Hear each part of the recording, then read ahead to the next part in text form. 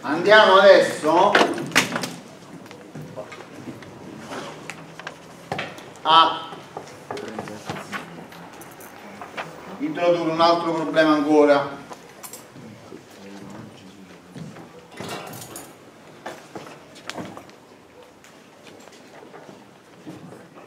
L'altro problema è questo qui. La definizione è anche questa molto importante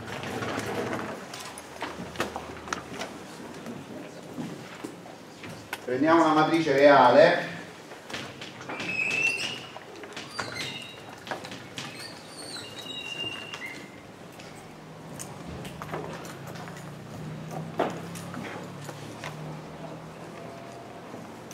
Supponiamo che esista se esiste un V diverso dal vettore nullo e un lambda appartenente a R eh, tale che AV sia uguale a lambda V. Allora V lambda si dice autovalore di A.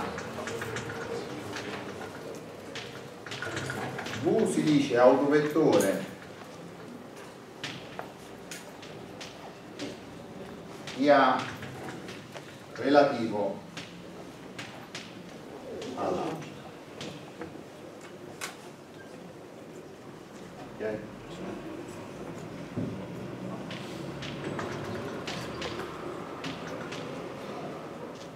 O più in generale questa cosa si può fare anche in C cioè i numeri reali sono anche numeri complessi quindi io potrei anche prendere questi in C e questi in C align ok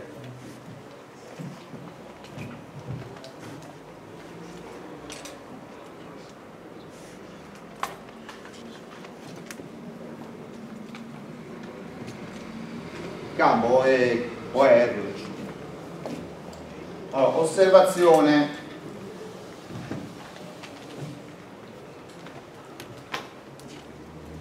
proposizione lambda è un autovalore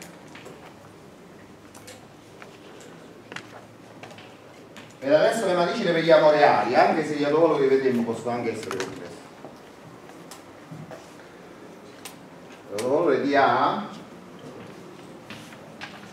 se e solo se il determinante di A meno lambda I è uguale a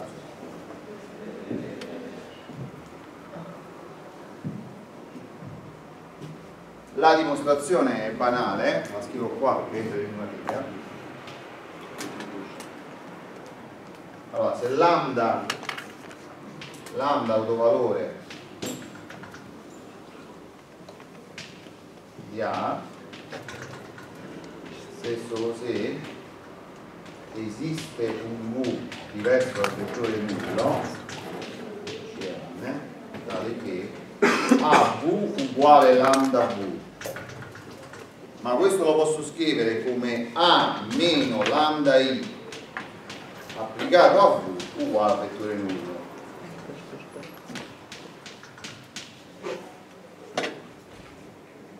ma questo quando è che è possibile? Per applicare lo sceccamenti. Questo è un vettore di C align non nullo questa è una matrice di C align C align per n questa è Rn per n questo qua però lambda può essere anche questo eh, cosa succede? questo che cos'è? non è un sistema omogeneo un, non l'abbiamo fatto con le equazioni eh, lineari su R ma vale pure su C, la stessa cosa eh, quindi è un sistema di n equazioni in n incognite com'è? Omo? omogeneo perché il termine noto è sono tutti zeri allora quando è cosa dice Rusceccapelli? Se questo determinante è diverso da 0, vuol dire che questa matrice è di rango massimo. Allora se il rango è n, quali sono le soluzioni? Solo la soluzione n. Ma se, se questo è un lato vettore, vuol dire che non è il vettore nullo. E allora che vuol dire? Che c'è una soluzione non nulla. E quindi il determinante deve fare 0. Viceversa, se il determinante fa 0, c'è una soluzione non nulla. Per, sempre per riuscire a capire. Quindi qua se è solo se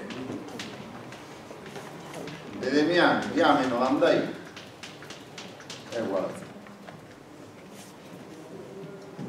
Fine la dimostrazione. Quindi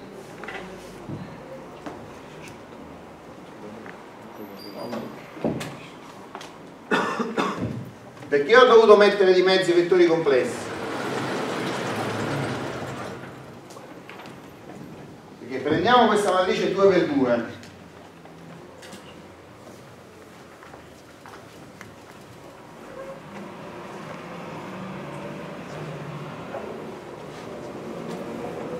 prendiamo questa matrice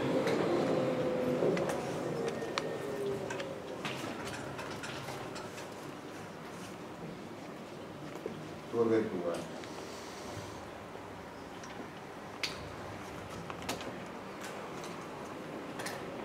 allora sempre 0 1 meno 1 0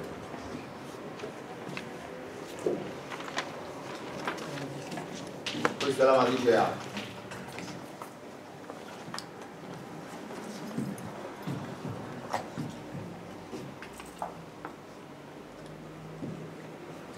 proviamo a risolvere l'equazione AV uguale lambda V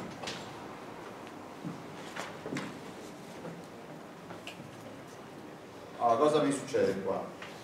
qua abbiamo 0, 1, meno 1, 0 1, Q2 questo essere uguale a lambda. 1 allora, cosa scopro? che V2 deve essere uguale a lambda V1 e meno V1 deve essere uguale a lambda 2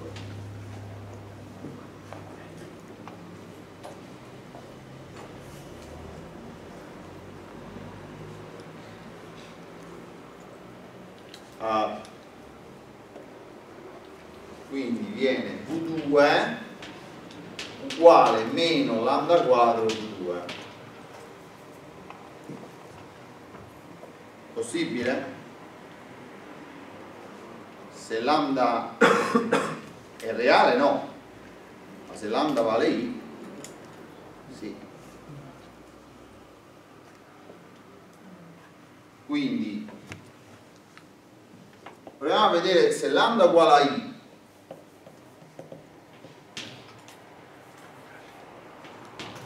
la mettiamo V1 uguale 1 per esempio. V2 quanto mi viene? I. I per I fa meno 1 si trova. Allora 0, 1, meno 1, 0 che moltiplica 1 I. Questo qua fa I meno 1 che è uguale a I volte 1I come vedete eh, questo perché? Andiamo a vedere chi sono gli autovalori di questa matrice.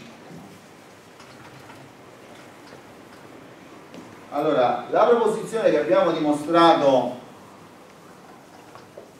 poc'anzi ci dice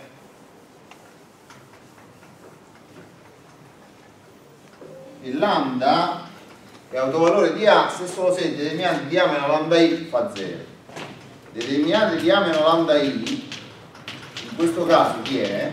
è meno lambda 1 meno 1 meno lambda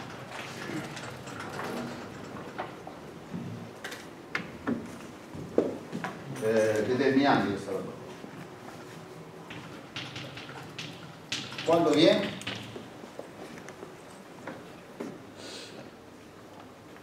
Quando viene? quando fa? lambda al quadrato più 1 più 1 il lambda al quadrato più 1 uguale a 0 se solo se lambda uguale a meno 1 lambda uguale più o meno i allora fare la radice esce i e meno i quindi può succedere che anche una matrice reale gli autovalori quando li vado a fare vengono fuori co complessi Ah, se la matrice reale se c'è un autovalore complesso deve avere, siccome l'equazione determinante è reale, allora, questo in generale P A di lambda uguale al determinante di A meno lambda I ha un nome, si chiama polinomio caratteristico.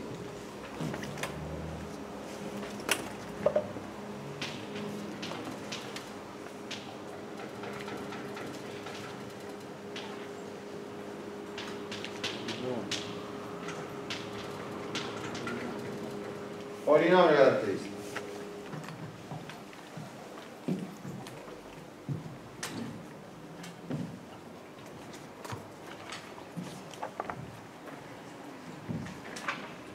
L'equazione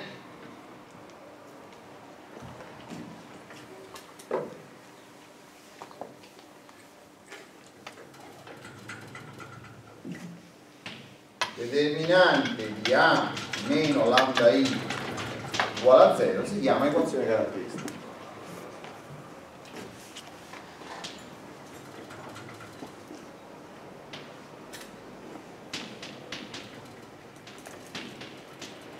Chi sono le soluzioni di questa equazione? Sono? Oh, questo qua di che grado è questo polinomio? Eh? Che grado è? Secondo voi? Che grado può essere? Avete, ricordate quando abbiamo fatto i- ieri abbiamo fatto un po' di, poi faremo altri esercizi sui sistemi lineari, no? Eh, Se io ho una matrice, eh, a ogni colonna ci metto roba con lambda, alla fine che esce fuori? Se lambda li mettevo su due colonne mi usciva un polinomio di grado 2. Se li mettevo su tre colonne mi usciva di grado 3. Qua su quante colonne sta? quindi sono il grado 2 se la matrice è 2 per 2 altrimenti n perché ce ne sta uno per ogni colonna e quindi che grado viene questo polinomio? grado? n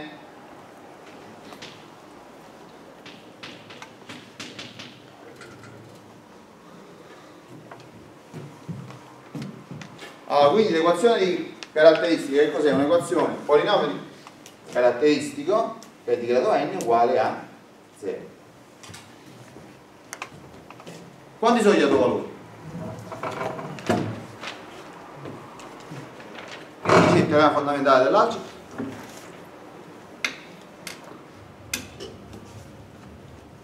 l'abbiamo enunciato in analisi 1 se, se io ho un polinomio di grado n uguale a 0 quante soluzioni trovo? n ogni volta che ne trovo una abbasso con Ruffini e la porto fuori. Che poi succede? alla peggio sono tutti uguali. Cioè posso avere soluzioni multiple. Però posso avere soluzioni anche complesse anche se, se se il polinomio è reale. Ma se il polinomio è reale uguale a 0 se ci sta una soluzione ci deve stare anche la coniu- coniugata. L'abbiamo visto quando abbiamo fatto gli integrali no? Quindi per esempio se è un polinomio di grado 5 che può avere 5 soluzioni reali distinte o meno oppure che ne so tre reali e due che sono una complessa e una complessa coniugata, cioè due complesse non reali coniugate tra di loro, oppure una reale e quattro a 2 a 2 coniugate complesse non reali.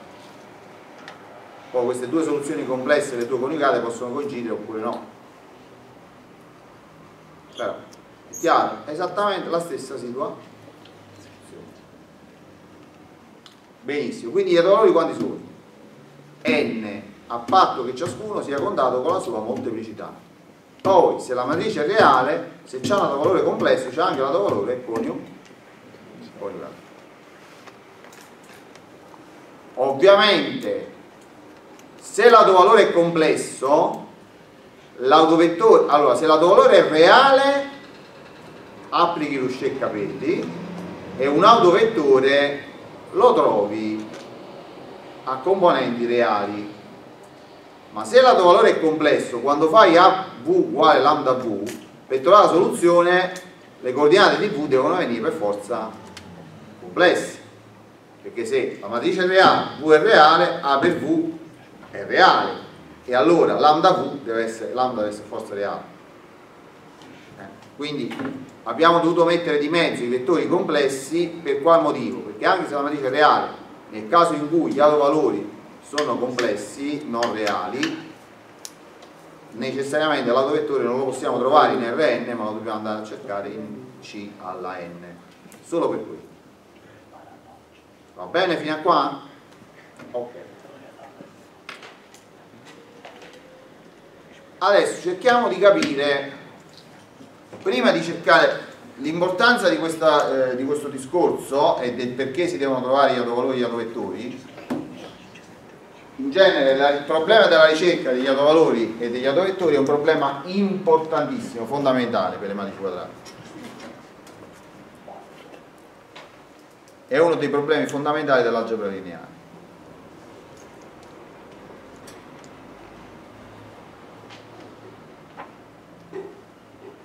Poi però questo, il perché lo capiamo meglio domani, non lo voglio di, discutere oggi. Oggi invece voglio discutere come è fatto questo poligono caratteristico. Andiamo a prendere prima una matrice 2x2 stavolta non ce la prendiamo così particolare prendiamo una sempre con degli esempi ma un po' più genetica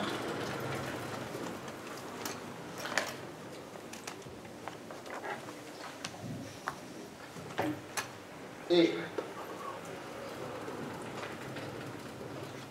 andiamo a vedere come è il poligono caratteristico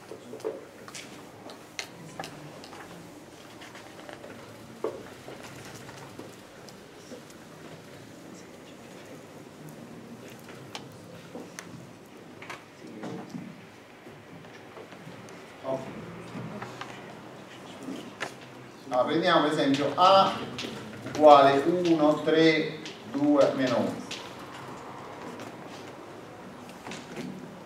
Allora facciamo A meno lambda I. Chi è?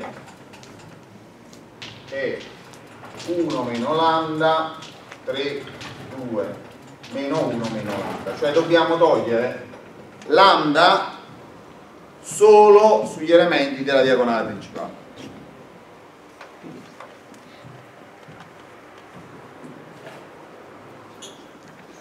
andiamo a fare il determinante di A meno lambda I. Questo è il polinomio caratteristico. Chi è? allora devo fare lambda meno 1 per lambda più 1 meno 6 qua questo è un trucchetto molto semplice con le matrici 2x2 siccome dovete fare il prodotto di due elementi dovete fare AB meno AD meno BC allora io invece di fare A per D faccio meno A per meno D perché faccio meno A per meno D così lambda me li trovo positivi. Faccio lambda meno 1 che lambda più 1 tanto ho cambiato due volte segno non cambia niente. Quindi questo è lambda quadro meno 7 ok? e questo è il polinomio caratteristico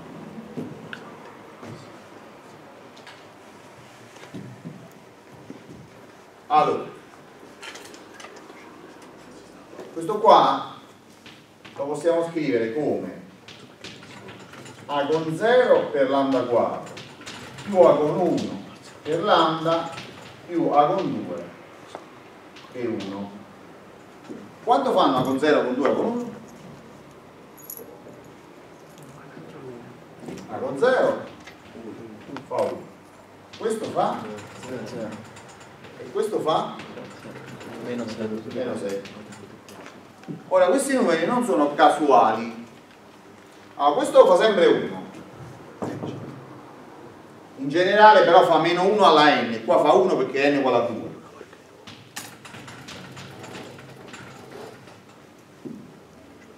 questo qua non è altro che la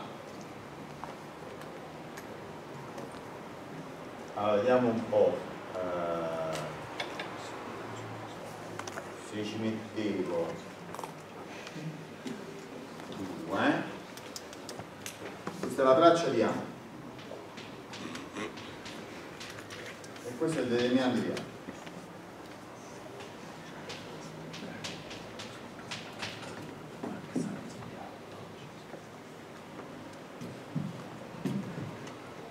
allora per capire che è sta traccia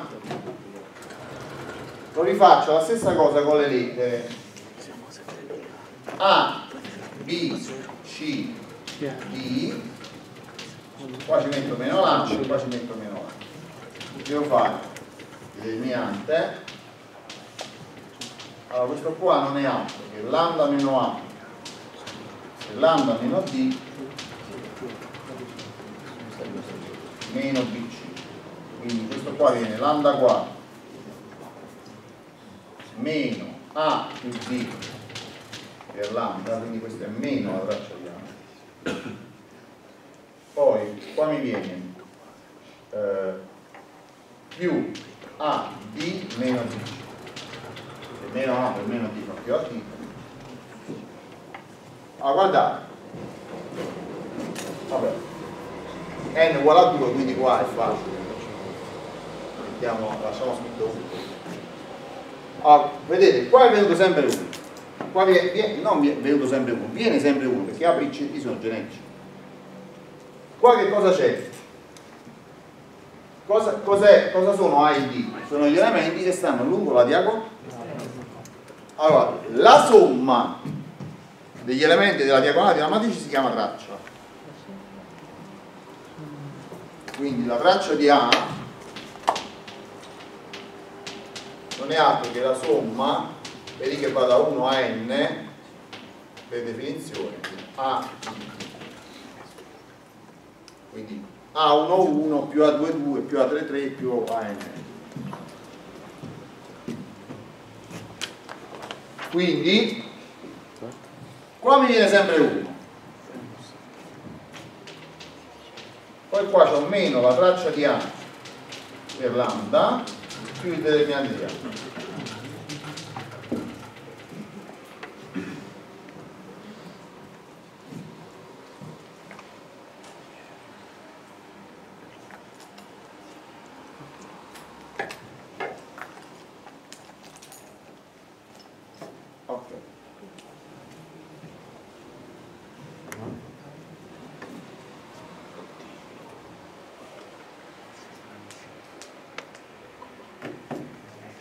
Ci siamo fino a qua?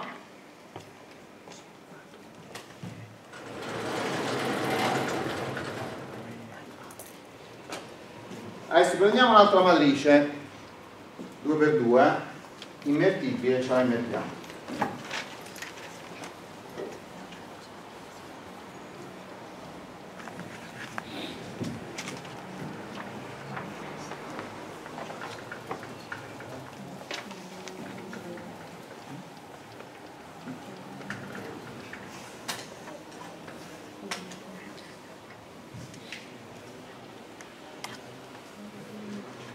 Allora, prendiamo per esempio B uguale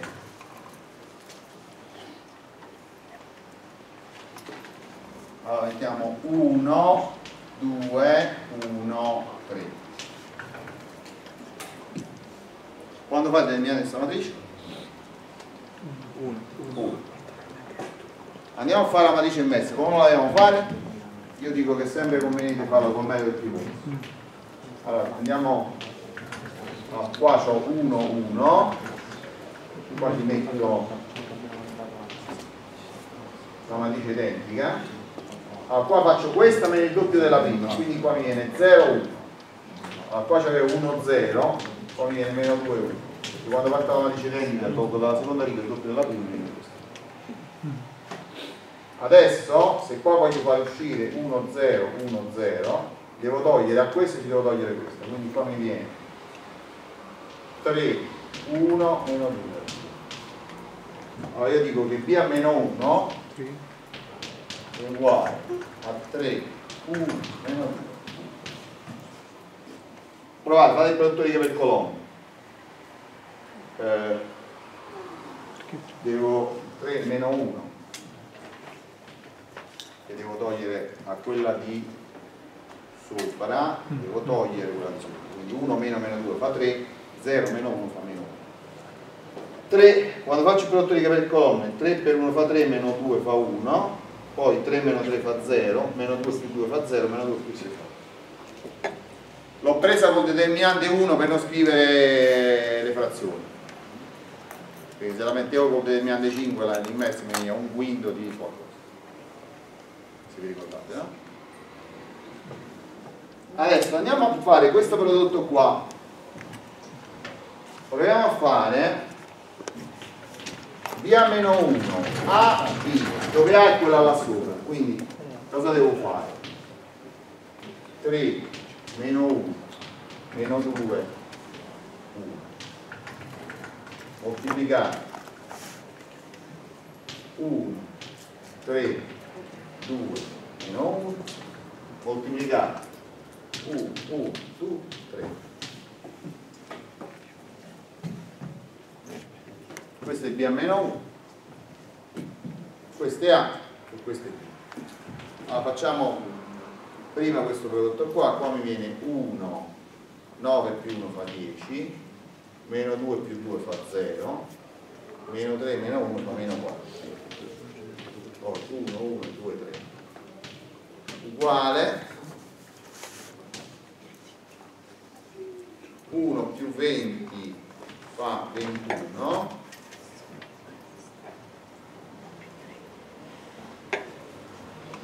31. allora, vediamo se ho fatto bene 1 allora 3 meno 2 fa 1 Giusto. 9 più 1 fa 10 meno 2 più 2 fa 0 meno 6 meno 1 fa meno 7 non meno 4 adesso andiamo a fare il prodotto qua viene 21 1 più 30 fa 31 poi mi viene meno 14 meno 21 è una bella matrice che con A non ci azzecca niente. Andiamo a fare il problema caratteristico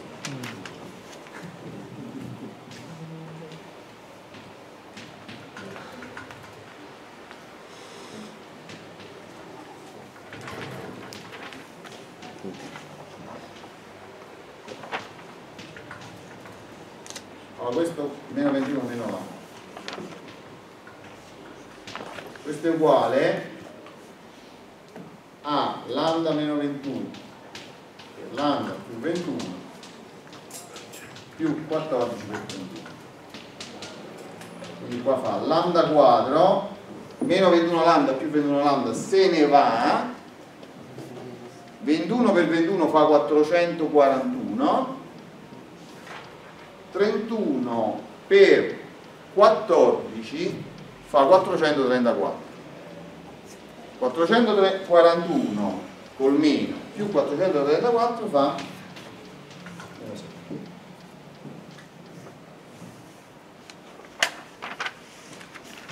A è uguale a come era prima adesso andiamo a fare B per A per B a meno 1 A era 1, 3, 2, meno 1 B a meno 1 era 3, meno 1, meno 2 cioè B e B a meno 1 invece di metterla questa è B A B a meno 1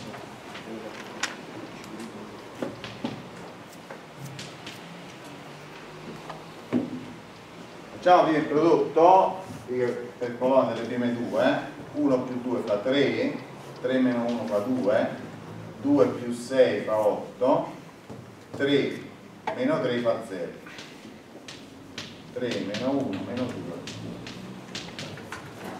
2 eh, 9 meno 4 fa 5 eh, vediamo un po' che qualche cosa ho sbagliato. 1, 3, 2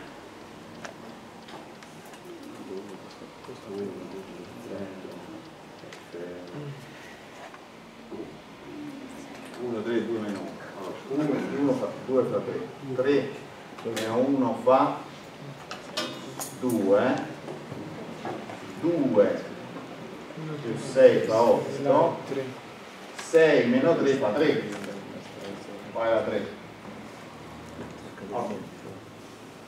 così 9 meno 4 fa 5 meno 3 più 2 fa meno 1 24 meno 6 fa 18 e meno 8 più 3 fa meno 5 un'altra ma dice che apparentemente con A non ci azzecca niente andiamo a fare il polinomio caratteristico di questa matrice. Devo fare il determinante di 5 meno lambda meno 1 18 meno 5 meno lambda.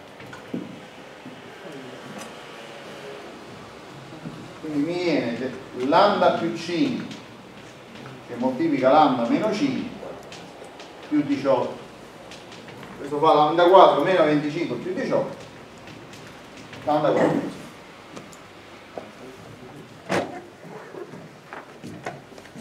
mm.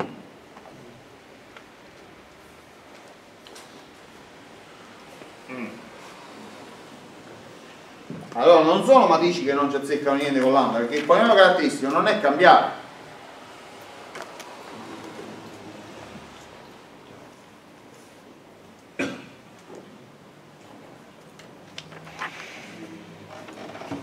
realtà la matrice A, questa matrice qua e quell'altra matrice là si chiamano matrici simili perché sono parenti. Vedremo questo fatto di avere la matrice B e B a meno 1 significa come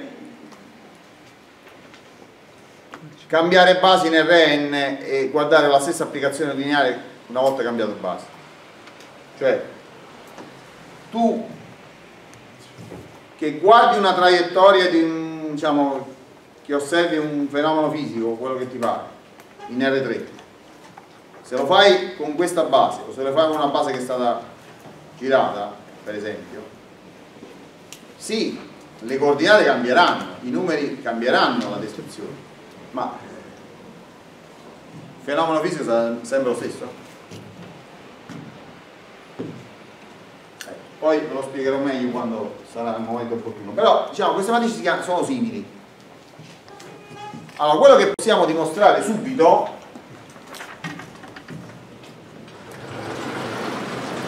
e questo vale in qualunque dimensione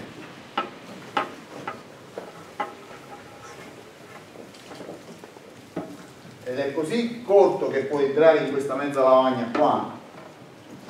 Allora, proposizione sia A appartenente a R N per N. M appartenente a R N per N. O determinante di N. Diverso da 0 quindi M è invertibile. A può anche non essere invertito. Allora dico che il polinomio caratteristico di A è uguale allora al polinomio della matrice m a meno 1 a n.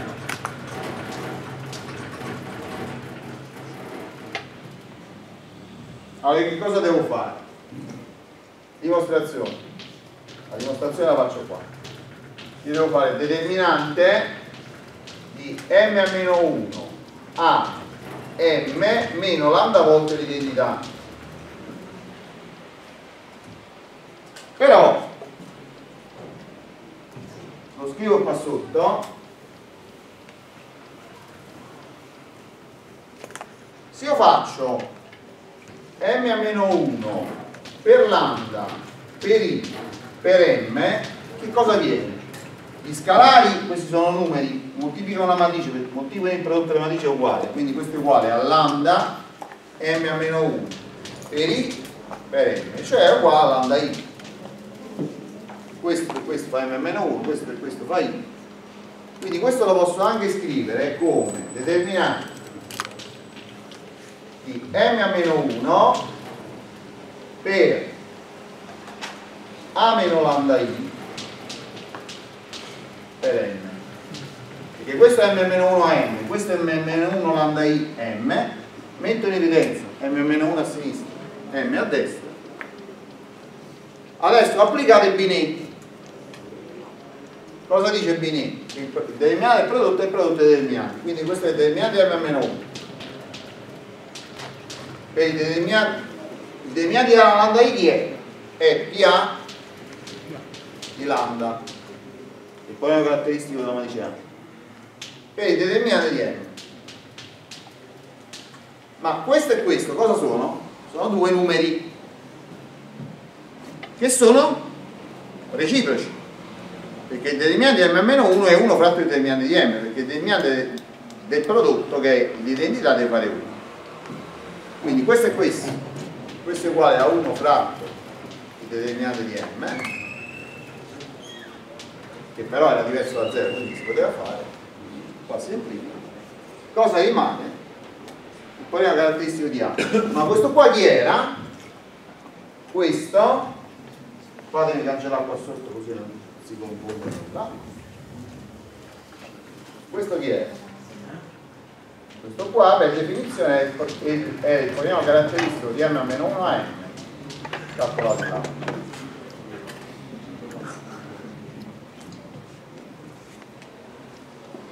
chiaro?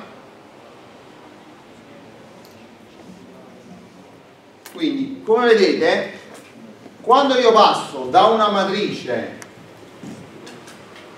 a una matrice A alla matrice M a meno 1 a M questa matrice si dice simile ad A che succede al polinomio caratteristico? niente, rimane uguale in particolare per esempio prendiamo nel caso due dimensionale cosa rimangono uguali? il determinante cioè devono rimanere uguali tutti i coefficienti ma se vi ricordate i coefficienti del polinomio caratteristico nel caso due dimensionale erano questo faceva sempre 1 e vabbè rimane uguale perché è sempre 1 questo faceva la traccia meno la traccia della matrice.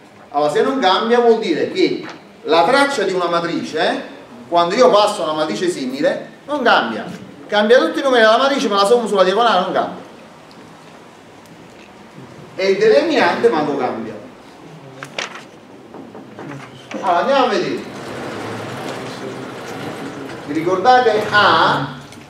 A era questa che traccia ha? 0 che determinante ha? meno 7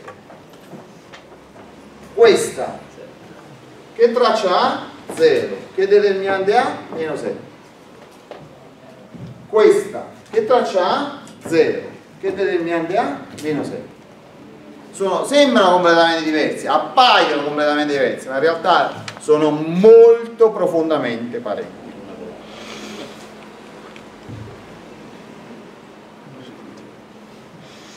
è chiaro? Eh? ok quindi facciamo un riepilogo per oggi basta però faccio 5 minuti facciamo un riepilogo allora che cosa abbiamo visto oggi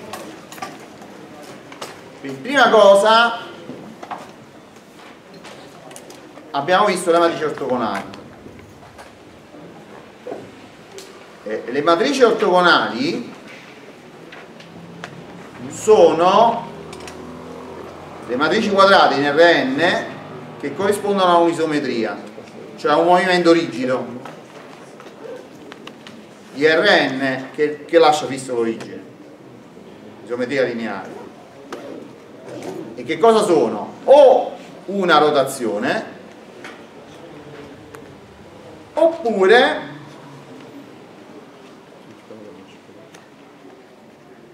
una, un ribaltamento ok? o l'uno o l'altro quando è che sono rotazione quando il determinante fa 1 quando è che sono ribaltamento quando il determinante fa meno 1 come si caratterizzano, caratterizzano queste matrici hanno tutte le righe ortonormali oppure tutte le colonne ortonormali oppure mi conservano tutte le distanze oppure mi conservano tutti i prodotti scalari è uguale. Una di queste qualunque di queste condizioni implica le altre tre. Sono tutte condizioni equivalenti. Oppure la trasposta è uguale all'immersa questa forse è la condizione più importante perché se questa fosse una matrice ortogonale mettiamo qua invece di fare b a meno 1 a b come potrei scrivere A? se la trasposta è uguale all'immensa potrei scrivere anche b trasposto a b o b meno 1 a b è la stessa cosa quindi in quel caso particolare qua in generale vale anche quando la matrice non è ortogonale quello che ho detto dopo. Però se la matrice è ortogonale in quel caso il cambiamento di base quando andiamo a fare sarà un cambiamento di base proprio una rotazione, un cambiamento rigido. Invece io posso cambiare base in R3 posso avere come base con 1 e con 2 e con 3 ma posso avere anche come base con 1 e con 1 più e con 2 con 1 più e con 2 più e con 3 allora la nuova base è tutta sorta rispetto alla prima chiaro? non è un movimento rigido quando è che cambio base con un movimento rigido? esattamente se la matrice di base è una di cambiamento di base vedremo una rota è una isometria chiaro? ok comunque poi che cosa abbiamo fatto? abbiamo preso e abbiamo parlato di autovettori e autovalori allora cosa sono gli autovettori? gli autovettori sono quei vettori che quando ci applico A non cambiano direzione. AV uguale a lambda V. Sono, è importante capire queste perché mo se io cambio base se AV è uguale a lambda V nella nuova base è uguale a V era 2V in qualunque base 2V sarà sempre il doppio di V quindi è chiaro che non possono cambiare gli autovalori gli autovettori non è che io cambio base e cambio autovalore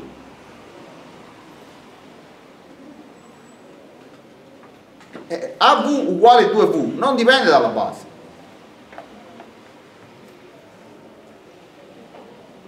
Ok. Allora per cominciare a...